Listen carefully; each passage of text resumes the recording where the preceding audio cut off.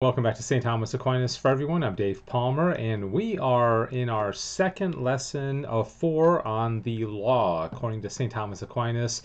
Remember, the first one on law was just kind of a general introduction, it was very brief. Well, now we are going to get right into the heart of it and talk about really one of the most fascinating parts of the Summa, and that is the four kinds of law. And the interesting thing about this, as is the case for the entire Summa, it all ties together, and most principally, it ties together in regard to our final end, as you're going to see as we move through these. Okay, so let's get right to it. And again, these are the four kinds of law. This is probably something you should commit to memory that they are the eternal law, they are the natural law, the divine law, and the human law. Okay, those are the four kind. We'll take those uh, in order of how they are presented in the Summa. All right, so let's get right at it. Uh, the first of all, this is again prima secunda, the first part of the second part of the Summa, question 91, article 1. As we get into the law, and Thomas says whether there is an eternal law.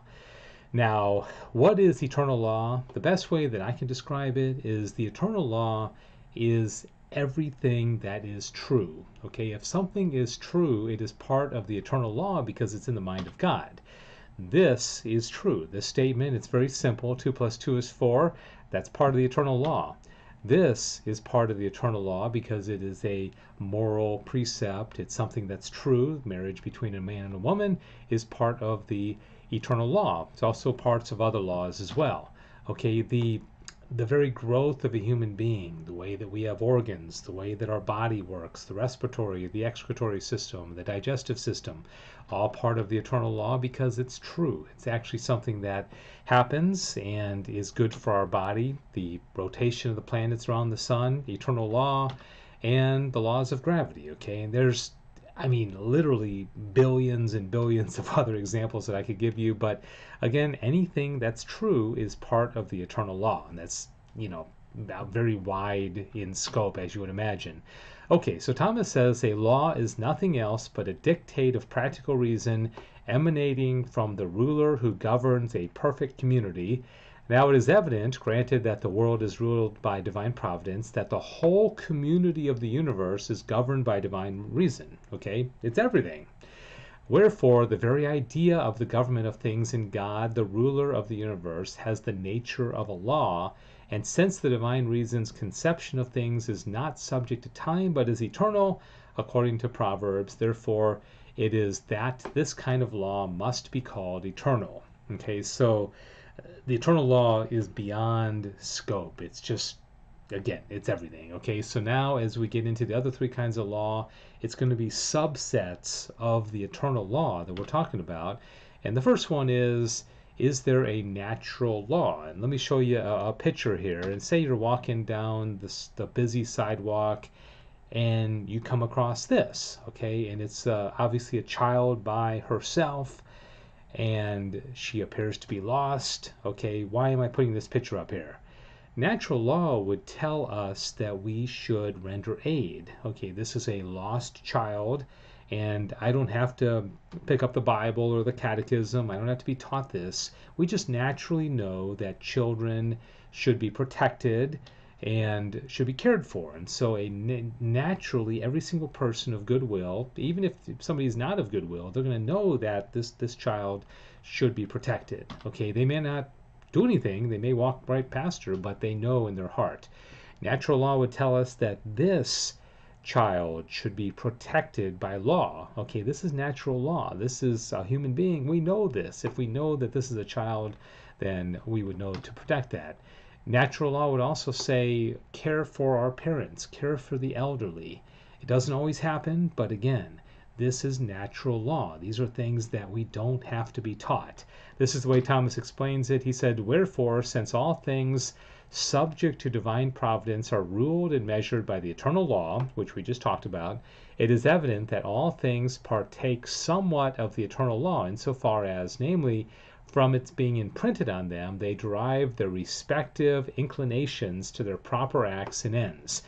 Here are a couple of examples. Now, now this is not natural law, but I'm gonna. This is eternal law, is that birds build nests, beavers build dams. Okay, they just know how to do that. That's eternal law.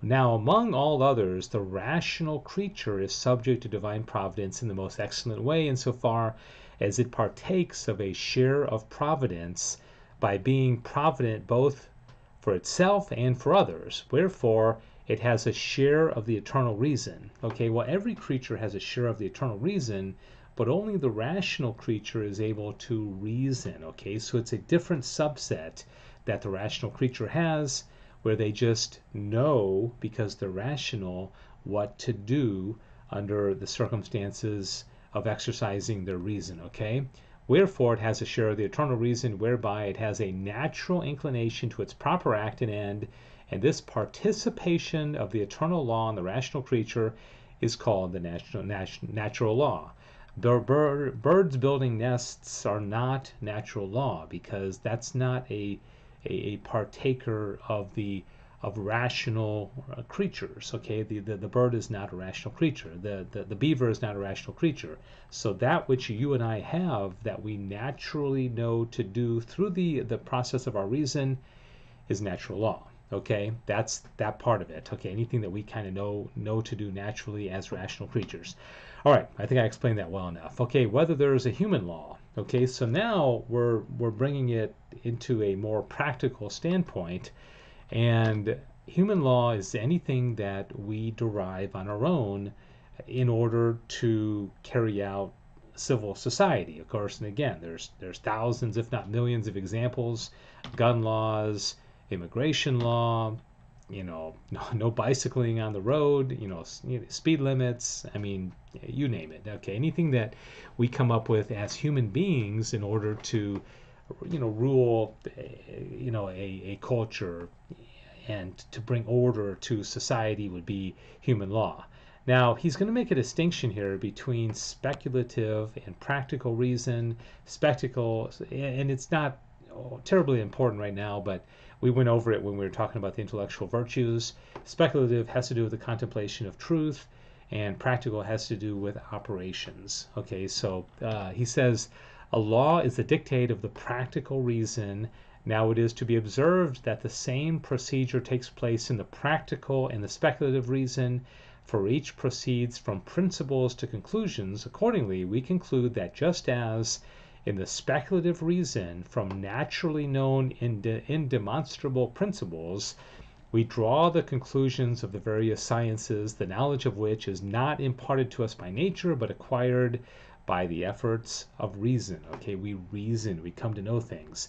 So too, it is from the precepts of the natural law as from general and indemonstrable principles that the human reason needs to proceed from the more particular determinations devised by the human reason are called human laws, provided the other essential conditions of the law be observed. Okay, this was that's kind of hard to understand, but what basically what he's saying is we take the natural law and those things that we know as rational creatures, that portion of the eternal law that we have come to know, and we apply it to practical circumstances. Okay, things that we need to do in order to order society, as I mentioned a moment ago.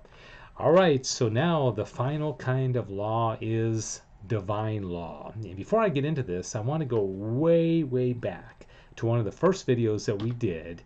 Do you remember the very first article of the Summa, what it was about? Okay, prima pars, question one, article one.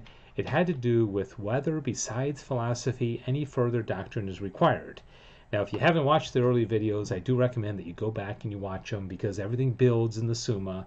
But basically, Thomas was saying that we needed more than what our reason can come up with because our end is supernatural. We are destined for a supernatural end, which is God, which is providence, right? And so we had to be told things that exceed the capacity of our reason in order because our end exceeds the capacity of our reason. Okay, so just remember that when we talk about divine law. So, what is divine law? Scripture would be an example. The teachings of the Catholic Church, transubstantiation, the Assumption of Mother Mary, okay, all these things that exceed our natural reason are parts of the divine law, right? And then anything, you know, the things having to do with Jesus, the incarnation, the resurrection, the bodily assumption, the bodily resurrection of the dead. Okay, these are all parts of the divine law. So how is divine law different from eternal law and natural law and human law? Okay, he says first because um, yes, there is a need for it. First because it is by law that man is directed how to perform his proper acts in view of his last end. And indeed, if man were ordained to no other end than that which is proportionate to his natural faculty, there would be no need for man to have any further direction on the part of his reason besides the natural law and the human law which is derived from it, right? But since man is ordained to an end of eternal happiness, which is in proportionate to man's natural fa- faculty, therefore, it was necessary that besides the natural and the human law, there should be directed to his end by a law given by God. Okay, we cannot figure these things out on our own. God has to help us achieve our final end. So the divine law and the first article of the Summa almost exactly the same. Okay, they're basically making the same point. We can't get to our end unless God helps us. And of course, this calls to mind grace the theological virtues, the things, that, the, the gifts of the Holy Spirit, these are all supernatural, right? Secondly, because on account of the uncertainty of human judgment, especially on contingent and particular matters, different people form different judgments on human acts, whence also different and contrary laws result, in order, therefore, that man may know without any doubt uh, what he ought to do and what he ought to avoid, it was necessary for man to be directed in his proper acts by a law given by God, for it is certain that such a law cannot err. So when God teaches us something through Holy Mother Church, through Scripture, through the Magisterium, you know, what have you, we know it's true because God is truth himself and he cannot err. Okay, so do you know the four kinds of law? Can you explain it to somebody? Can you make it as simple as possible? That's our challenge, okay? They are divine, they're eternal, they are natural, and they are human. Okay, well, you have two more lessons on law before we move on, and we're getting very close to the mid mid part of the Summa. I hope you're enjoying it. Please like, please forward, please tell your friends about this. Very, very important in our culture today for us to be grounded in good philosophy. Okay, this is so important and I'm so glad that you're journeying with me through the Summa. Thank you for watching, and may God bless you.